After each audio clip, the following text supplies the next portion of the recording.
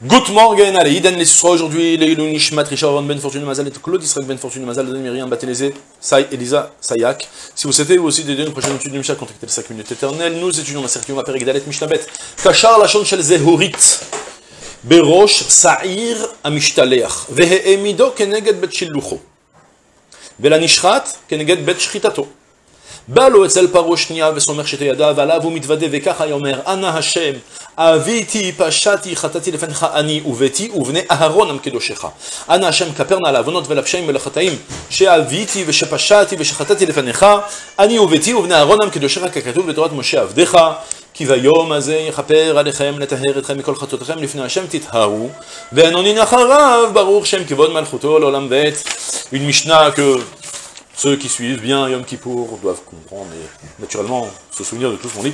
Kachar la chez les. On a vu dans la première, dans la précédente, on avait un petit court rappel depuis le moment du Père Gimel cette fois-ci, où il s'est trempé au Mikvé, la Big de Lavan, il est parti sur son, le Kohen Gadol, s'est dirigé vers son par, le taureau, qui était spécifique à lui. Il a fait un premier vidouille pour expier ses fautes, à lui et à sa femme. Pas encore à ses frères Une fois qu'il avait fini cette avoda, il était, il s'était maintenant redirigé, ça il a, il était Ben Aoulam la Misbeach, entre le euh, l'entrée du Echal, et le Misbeach, il y avait là-bas 11 amas, c'est là-bas qu'il s'était trouvé avec son par. Après, il était reparti en arrière, dans direction est, vers les deux, c'est Irim, où il y avait là-bas les deux boucs. Il a fait, maintenant il a procédé au tirage au sort, comme on a vu dans la mission précédente, qu'il a tiré, il a désigné lequel sera le Saïr, la Shem, lequel sera le Saïr, la Zazel. Ok?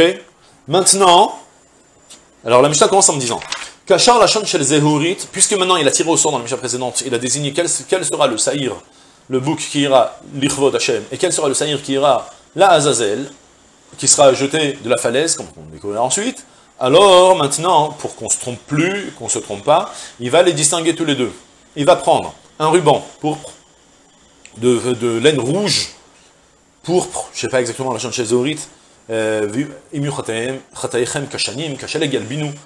y avait un petit miracle qui se passait, on verra plus tard, que ce, ce ruban rouge, une fois qu'il est arrivé, qu'il devra le jeter, il va l'attacher quelque part, et lorsqu'il va jeter le saïr, le ruban va devenir blanc.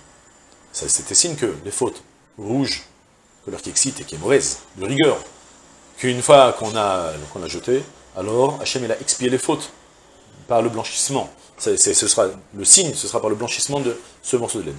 Donc, pour le moment, qu'on les différencie. Le saïr qui va être jeté de la falaise, alors, Kachar Lachon Shel Zehorit, Berosh Saïr Amishtalach. Il lui a attaché un Lachon Shel Zehorit, une laine, de la laine euh, pourpre, sur sa tête entre ses cornes. Et Keneged Bet Et il le prenait ensuite, le Saïr, il allait le mettre face à l'endroit où il allait sortir Bet On apprendra plus tard qu'il y avait un pont par lequel on passait, d'une porte.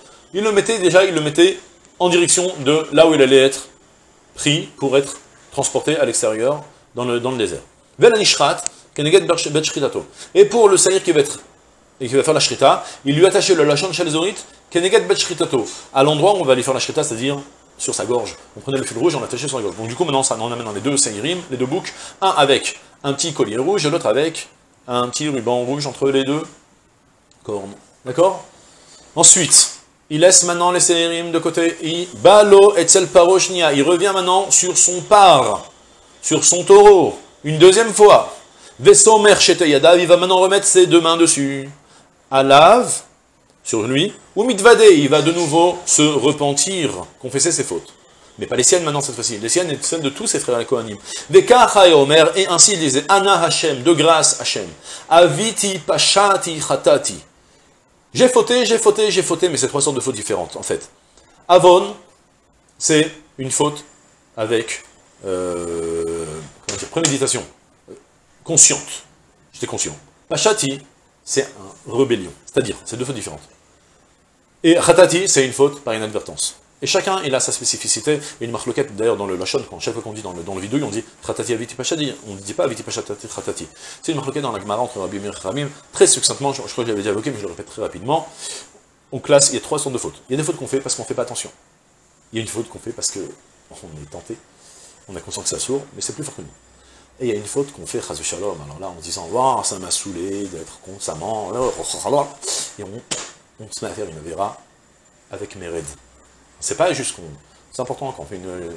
Je dis, toujours, quand on fait une avéra, il faut avoir la franchise de dire, je suis vraiment pas comme il faut.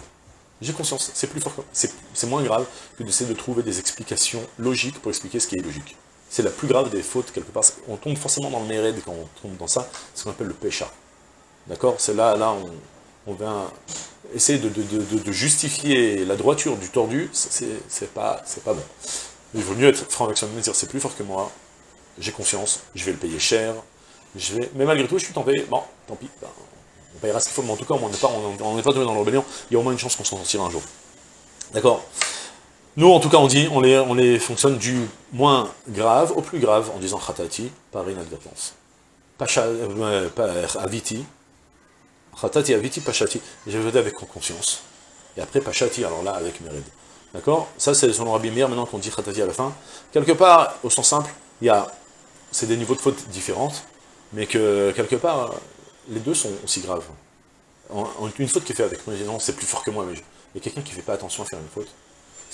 Quelqu'un qui ne fait pas attention, il faut bien le réaliser, quelqu'un qui fait une faute sans faire exprès, on fait jamais sans faire exprès. Si c'est important pour toi, tu ne ferais pas tu ferais pas exprès, on a, je sais pas si j'ai déjà dit, comme un, un qui dit toujours, on n'oublie jamais le matin de sortir son pantalon dans la rue, Ça, ne prend pas, ouais, les choses qui sont importantes, tu as conscience que tu dois être couvert, tu vas pas, tu eh, j'ai oublié de mettre mon pantalon.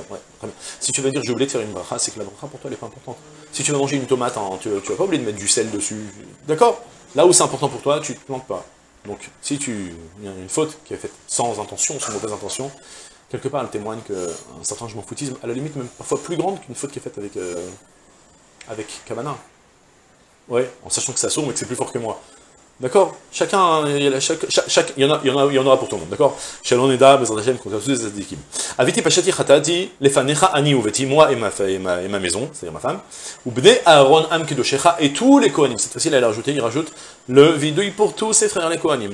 Anna Hashem, de grâce Hashem, ou nous on dit dans la fila Anna Bashem, par le mérite de Tarachamim Hashem, le nom Shem Hashem, Kaperna, explie donc la Avonot ve la Peshaim, aux fautes faites avec intention, et les Pshaim et les rébellions. Ve la Chataim et les fautes qui sont faites par inadvertance. Chez Aviti, ve Shapashati, ve que moi j'ai fauté, que j'ai fauté avec conscience, que j'ai fauté avec, euh, en me rebellant, et que j'ai fauté par inadvertance. Les Fanecha, Ani, Ubeti, Ubnaron, moi, ma femme, et même les Bnei Aaron tous tes enfants, les Kohanim, Moshe comme ce qui est écrit dans la Torah de Moshe Rabbeinu, ton, ton, ton serviteur, qui bayom azekar ce jour-là. Yechaper alechem, letaher etchem, Hachem vous expirera pour vous purifier, mikol chatotchem, de toutes vos fautes, lifne Hachem, devant Hachem, titharu, et vous serez purifiés.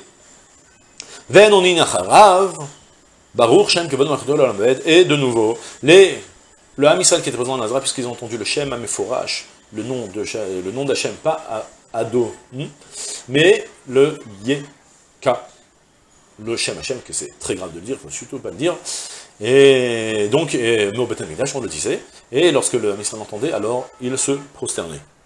D'accord? Comme c'est, il se prosternait, il disait Baruch Shem Kevon Malchotol qu'il soit grandi, béni, loué, euh, le nom de l'honneur de sa royauté à, pour l'éternité. D'accord? Et c'est tout pour aujourd'hui. Je vous souhaite une journée pleine d'Asacha, Kol